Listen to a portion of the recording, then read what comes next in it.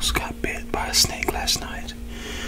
I was reaching down for a stick and uh, yeah, I jumped back because it was more afraid of me than I was of it. But I was pretty afraid. I don't know what kind of snake it was. I know it was. Uh, it had been a venomous one, one poison one, because it was. It had some kind of rattle on it, so it was a rattlesnake. I don't know.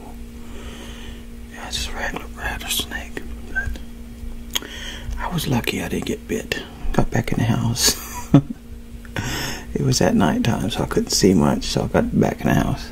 Anyways, uh,